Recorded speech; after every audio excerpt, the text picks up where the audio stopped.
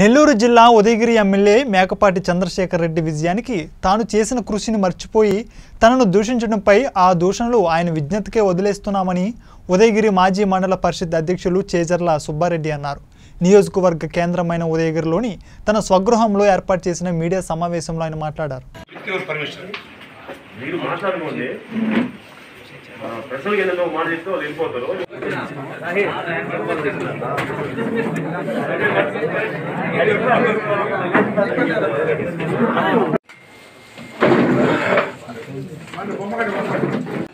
మన ఉదయగిరి మెట్ట ప్రాంతం కాబట్టి మనకు త్రాగునీరు కానీ సాగునీరు కానీ రోడ్లు కానీ నెల్లూరు నుంచి కనీసం రావాలంటే రెండు మూడు గంటలు పడుతుంది తొంభై కిలోమీటర్లు.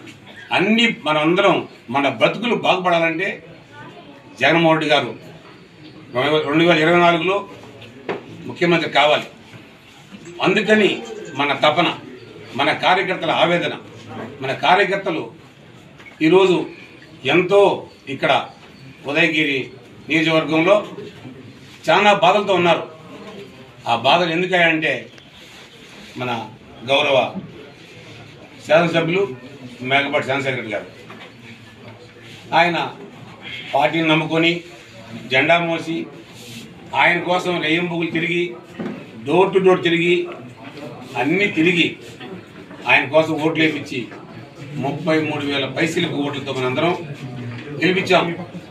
రెండు వేల పద్నాలుగు నుంచి పంతొమ్మిది దాకా మనం ప్రతిపక్షంలో ఉంటే ఆ రోజు మన మీద తెలుగుదేశం పార్టీ వాళ్ళు తప్పుడు కేసులు పెట్టి నానాకు ఇబ్బందులు పడతా ఉంటే ఎన్నో కష్టాలకు నష్టాలకు ఓర్చుకొని మనం రెండు వేల పంతొమ్మిదిలో మన ప్రభుత్వం జగనన్న ప్రభుత్వం మనకు ఒక బంగారు భవిష్యత్తు ఉంటుందని ఆశపడ్డాం. కానీ రాష్ట్రంలో జగనన్న ప్రభుత్వం అదేవిధంగా అందరి ఆశాజనకంగా కూడా ఉంది. అది మనం గర్వంగా చెప్పుకోవాలి ఈరోజు ఆంధ్రప్రదేశ్లో. ఇంత లోటు బడ్జెట్ ఉన్న రాష్ట్రం? ఈ విధంగా మనం రాష్ట్రాన్ని ముందుకు వెళ్తుందంటే ఆయన ప్రవేశపెట్టిన ప్రతి స్కీము ఏ విధంగా చేస్తున్నాడు అని అందరూ ఆశ్చర్యపోతున్నారు. ఇంత లోటు బడ్జెట్ ఉన్న రాష్ట్రం. జగనన్న ఈరోజు ఏమనుకుంటుంది? బటన్ నొక్కితే అందరు అకౌంట్ డబ్బులు పడుతున్నాయి. నిజంగా అది మనందరూ కూడా ఆయన ముఖ్యమంత్రిగా దొరకడం ఆ రోజు దివంగత ముఖ్యమంత్రి రాజశేఖర్ గారు చనిపోవడం మనకు ఈరోజు ఆయన ఆ పరిస్థితిలో ఆయన కుమారుడిగా మనకు దొరకడం కూడా మనందరి అదృష్టం. కాబట్టి ఈ ఉదయగిరి తాలూకా కూడా మన వచ్చిన ముప్పై మూడు వేల బదులు నలభై మూడు వేలతో ఎమ్మెల్యే కావాలంటే మన కార్యకర్తలు అందరూ కూడా పోయినసారి ఏ విధంగా కష్టపడ్డారో ఆ విధంగా చేయాలని కూడా నా కోరిక. ఎందుకంటే ఒక సెంటిమెంట్ ఉంది. ఉదయగిరిలో ఎవరు ఎమ్మెల్యే గెలుస్తారో ఏ పార్టీ ఇక్కడ గెలుస్తుందో అదే పార్టీ ఆంధ్రప్రదేశ్లో ముఖ్యమంత్రి కూడా అయ్యేదానికి సుమారు నలభై ఏళ్ళుగా మనం చూస్తున్నాం సెంటిమెంట్ పెద్ద బాధ ఏంటంటే ఎక్కడ మనం చేయి జారిపోతామా ఉదయగిరి ఈ తాలూకా రేపు వైసీపీ రాకపోద్దా అని చెప్పి నా ఆవేదన.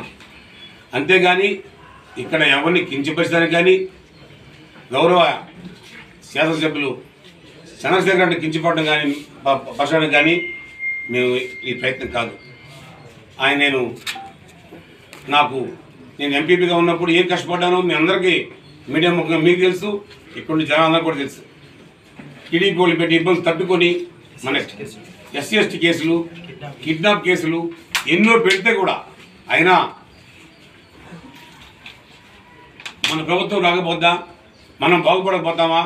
మనకు మంచి రోజులు రాకపోతాయని ఆశిస్తే ఈరోజు నాలాంటి వాడినే పక్కన పెట్టి మండల కన్వీనర్గా ఇచ్చారు. సొసైటీ ప్రెసిడెంట్గా ఇచ్చారు. ఇస్తే దాన్ని నేను బెంగళూరులో ఉన్నప్పుడే దానికి తెలియకుండా రుణి చేశారు. నేను మీకు పత్రికాముఖంగా చెప్తున్నా పార్టీకి కానీ ఆయనకు కానీ మన పార్టీ నాయకులు కార్యకర్తలకు కానీ ఎవరికి నేను ఎటువంటి లాస్ ఎటువంటి ద్రోహం చేయలేదని ప్రమాణం చెప్తున్నాను. మరి నాకెందుకు ఇలా జరుగుతుందో నాకే జరిగితే ఇంకా చిన్న చిన్న కార్యకర్తలు ఉన్నారు. నేను అందులో కొంచెం పెద్ద కార్యకర్త అనుకోండి. నేను ఎంపీపీగా ఉన్నా కాబట్టి. నేను కార్యకర్తను ఇంకా చిన్న కార్యకర్తలు కూడా.